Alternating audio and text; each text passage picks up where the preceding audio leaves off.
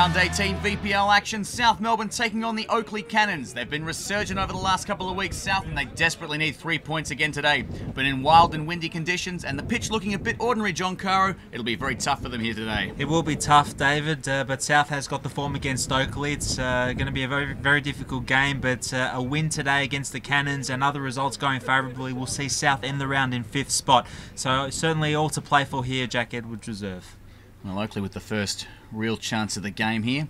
That one whipped in and ooh, just about something out of nothing there. The marking's got to be a bit tighter there from South.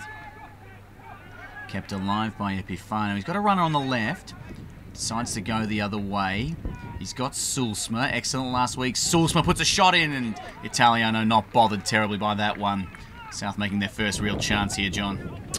South with their first real chance here, but of course uh, Italiano uh, very solid in goals for the Cannons and makes a regulation save. Jawadi tries to turn on the pace, keeps his feet well, Jawadi. Jawadi lines up the shot, it goes across the face and wide. South Melbourne starting to look better over the last few minutes, opening up Oakleigh's defence a bit. Epifano can't grab that one and the ball's flicked on here. And there's a chance now for Zorich. It's opened up. Marla can't clear it. Goran Zorich comes in. Great save, Gavalis. Gavalis got down to that one quickly. He came out nice and fast there. And Goran Zorich denied by a great bit of keeping. Excellent play all around here, David, as we see Zorich spring the offside trap, get on the other side of Marla. Marla can't... Uh, can't get the ball there as Zorich speeds through on goal, but Pete Gavalis off his line very quickly and gets his hands up and makes a crucial block. That's an excellent save from Zorich there. Well, they look to switch it on this left-hand side, and Epifano eventually brings it under control, plays it across field, but Oakleigh should be able to deal with that one. Oh, they haven't here. It's gone straight through for Rickson, and he's scored! Well, how about that, John? It seemed like a harmless ball forward by Epifano, Oakleigh could not clear their lines. In fact, if anything, they gave a perfect through ball for Trent Rickson, and he's a goal scoring machine now. He gets his fifth of the season. South 1 0. Well, as we see from the replay here, David, it looks like Oakleigh's uh, got it under control, and in the end, it's a through ball from a shocking back pass, back pass that plays Rickson through. Italiano comes out and uh, Rickson just dinks it over him and into the back of the net to open the scoring as we see here.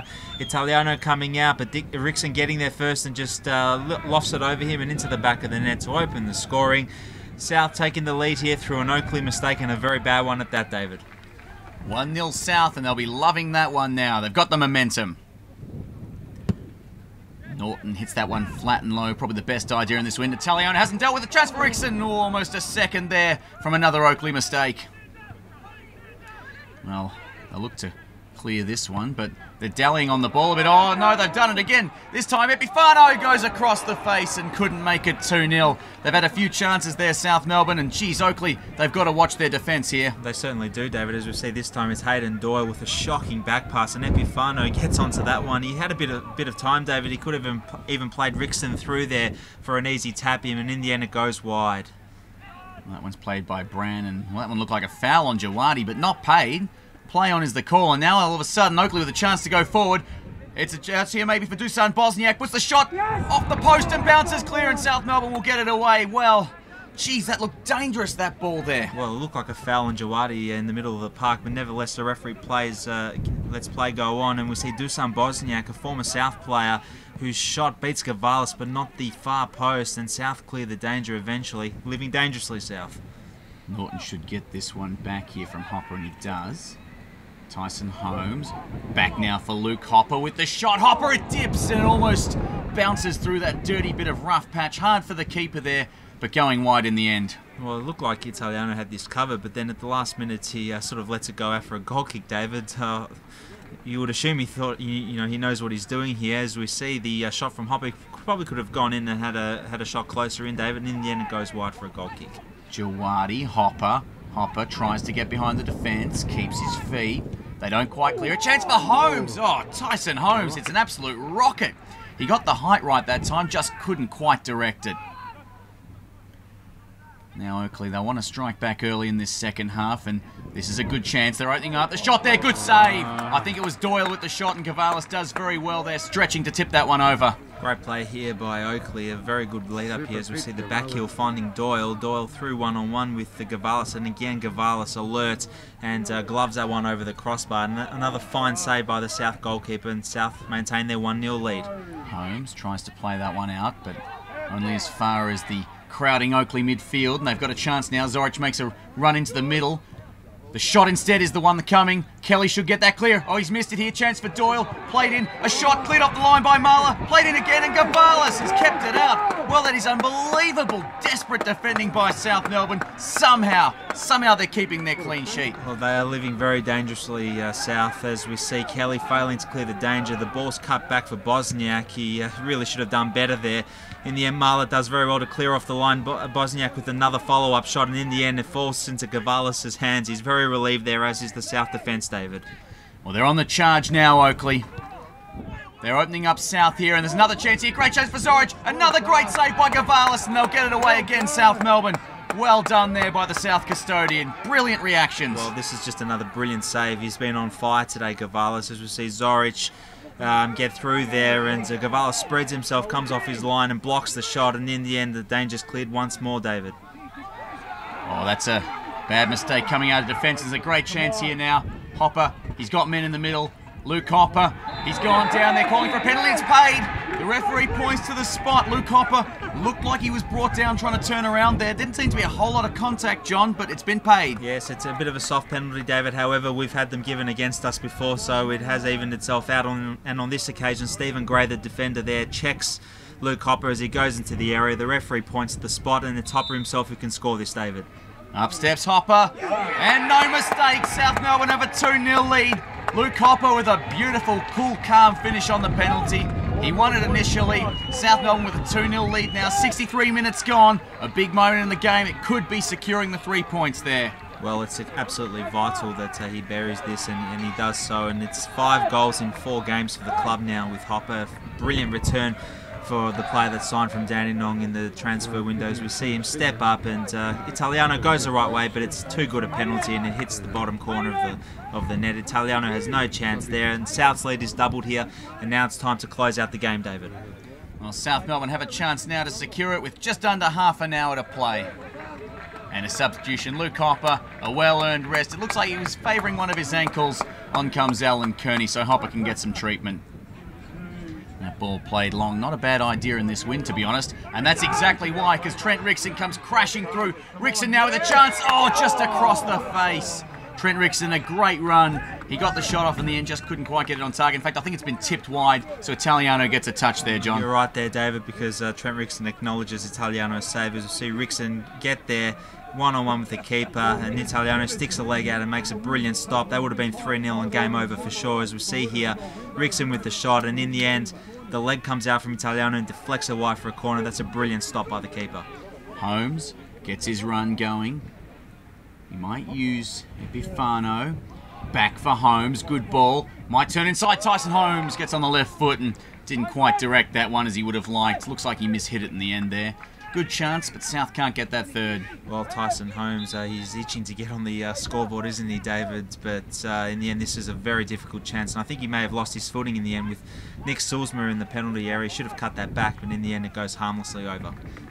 Italiano goes for the quick throw option. Oh, Brad Norton straight onto that. And he's got men in the middle here. Bradley Norton puts that one up. Great chance for Rickson. Oh, dear. He's put the header right at Italiano. Should have done better with that one there, Trent. Well, this is bread and butter stuff for a centre forward, isn't it, David? That is a brilliant um, cross for for Trent Rickson. In the end, he directs his header straight to Italiano, and the danger's cleared. This one floats up high. The clearing header doesn't get out of danger, and it's trickled through. It's gone in. It's a goal. Yes, it's a goal. I couldn't see who got the last touch there, John. It was bobbling around like a pinball machine, and it is 2 1. Once again, Oakleigh are back in this game. Well, once again, South failing to clear their, their line here as we see Kearney's header hits Rickson and the ball bobbles in the goal mouth and in the end it's Bosniak that just sticks a leg out and it trickles into the back of the net. It's a horror goal to concede and Oakleigh's halved the deficit here David with 15 minutes to go. Anything can happen now. Gavalis tries to punch that one and let the wind carry it. Nothing doing though. It won't get through. Here comes Krenkovic and Zorich. Zorich lays it up. Good chance for Krenkovic. Good save. Gavalis got the arm down well. And the ball will eventually... No, it won't bounce behind. It'll be cleared. Great chance there. Well, Jesse Krenkovic, the sub here, he could have scored against his former club as Gavalis comes charging off his line again, David, but he manages to scramble, scramble back and get his hand down and make another firm save. He has been the man of the match by far here today. Gavalis pumps that one long and high. Now here's another chance, Rickson. He's done well here. Trent Rickson with the left foot, saved by Italiano. Maybe if he got onto his right there, if he'd been able to, it would have been more powerful. Nevertheless, a good chance there. Well, Rickson, he takes it down brilliantly in the. Uh, he's uh, obviously on a difficult angle, and in the end, he goes for the shot, which Italiano, as you would expect, he comfortably saves at the near post. However, Trent Rickson has had a superb game today. Well, Reese Meredith is the injection of fresh blood. Nick Epifano coming off for a rest. And Sulzma coming off for a rest now. Jonathan Munoz making his debut for South Melbourne will get a run here today. Desperately holding on here, South Melbourne, waiting for that whistle, and the referee obliges. It's all over here in Oakleigh. John Cairo, South Melbourne, held on grittily for that win. It was the, exactly the kind of result they needed here today. Tough conditions, tough match, tough opponent, but three points. Yes, it was, David. It was an excellent result. Um, it was never going to be easy here, and all we wanted was to grind out a result. It was see the match stats very even, and uh, we have to thank Gavalis for some outstanding saves today. And in the end, we did enough. Um, we rode our luck at times, but uh, we got the two goals and we managed to hold on, and uh, it was a very good performance here today. How'd you feel in that last 10 minutes there? Um, oh, well, look, these conditions, it's hard to play in. Um, yeah, they snuck snuck one late, but I thought we were, we are a pretty good team tonight. Um, thought we, we deserved the points. Um, Pete Gavalis' couple of saves at the end there were, were just ridiculous. I don't know how he did it. So, look, it's good to hold on for the, the three points, but look, we go back to, uh, next week and um, hopefully get another win. Let's talk about yourself for a moment. Your rich vein of form has been fantastic over the last few weeks. Are you feeling fitter? You seem to be moving a lot better out there. Yeah, well, that's my first uh, 90 minutes under my belt. Um, obviously, you struggled a bit at the start of the year coming back from injury, and then I copped a couple of little nigglies. So, look, the last four or five weeks I've been training flat out, and um, look, I'm just only going to get fitter and fitter and hopefully keep banging a few goals away. Didn't feel like I'd done a lot in the game, so I, I wanted to sort of, you know, um, get a goal and obviously won the penalty, so it was a chance to sort of you know do something in the game. So yeah, no, I was delighted. You do realise, of course, Hume City having lost today, we will be jumping into fifth at the end of the round. That's a big move. That must give the boys a real lift. Yeah, like we're, we're confident. Obviously, we had a good win last week, another good win today.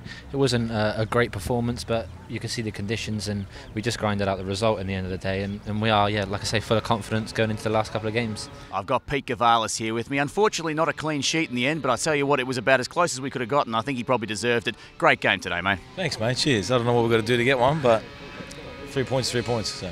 Now, let's be honest, is, these were very tough conditions here today. It was uh, gale force winds, it rained for a while, the sun came out and blinded you, and uh, the, the pitch was very sandy. I mean, as a goalkeeper, you must look at that and think, God, it's going to be a tough day. Yeah, it's not the nicest of conditions, and you kind of just want to have one of those games where you're not as busy. But um, today was kind of the opposite, but it, it worked out okay. The boys, um, the boys battled really hard because it's you know it's kind of double as hard in, the, in those sort of conditions. Um, but yeah, three points, three points. So we're, we're happy. Everyone's everyone's happy. I know the three points is the most important thing, but I mean, if you're being honest with yourself, you'd love to get a couple of clean sheets before the end of the season, wouldn't you?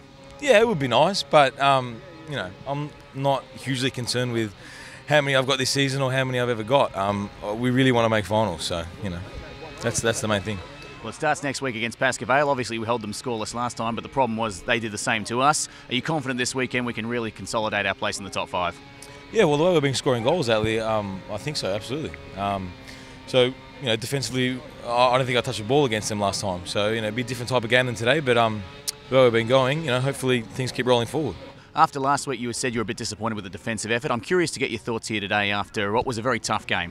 Look, I mean, the game was a little bit different today. I mean, it's like a derby atmosphere, and both teams playing for a position in the five. Um, I thought Pete Gavalis was outstanding, and it's hard to criticise the defence. I thought they played well in patches, you know, and defended very well. And the goal was a bit of a scrappy goal. But again, you know, I'm disappointed in, in the fact that we want to get clean sheets because that builds our momentum. But um, the way we ground it out at the end, even at 2 1, just showed a bit of character and, and the boys are, are coming together as a group and as a team and as a unit. Obviously, with wind, rain, sun glare, and a, uh, a bit of a dodgy pitch out there with some of the sand, can you prepare for a situation like this, or do you just have to deal with the weather conditions on the day? No, I mean, look, the big thing we spoke about today was uh, sometimes you don't have to play pretty football to be effective, and, and that was going to be the case today. We, we had to be uh, pretty consistent in our defending and not make mistakes. I mean, we, we spoke about the game would probably be decided on mistakes with the wind and the, and the blustery conditions, and uh, that, that's how we scored our first goal. Um, you know, so it was just a case of grinding out a result today rather than trying to play good, pretty effective football. We've got Pascoe Vale next week. A win there would see us in a great position going towards finals. Uh, now, unfortunately, before you joined us at the club, but we did have a bit of a disappointing nil-all draw last time. What do we got? What do we have to do this week to make sure we find ourselves on the winning sheet? Uh, score more goals than them. Uh, that's probably the most. But you know, I think we, if we apply ourselves the way we can, and, we, have got a consistent team that's going out in the park that knows their roles, uh, we're always going to create chances, as you saw today. Um, and as long as we defend to, to our capabilities, uh, there's no reason why we shouldn't get another result.